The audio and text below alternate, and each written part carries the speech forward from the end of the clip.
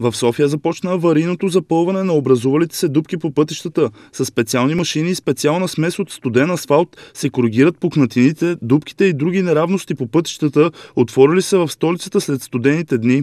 Вследствие на лошите метеорологични условия установихме, че по някои от основните трасета и булеварди в града са се образували дупки или неравности и приоритетно запълваме дупките с студен асфалт, който който позволява реално при ниски температури да се работи с него по основни трасета на градския транспорт и обществено значими улици.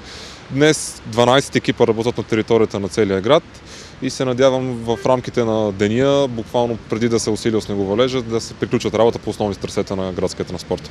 Студеният асфалт е възможно да бъде поставен при температура на пътната настилка не по-ниска от минус 5 градуса. Поради тази причина екипите на столична община работят през деня.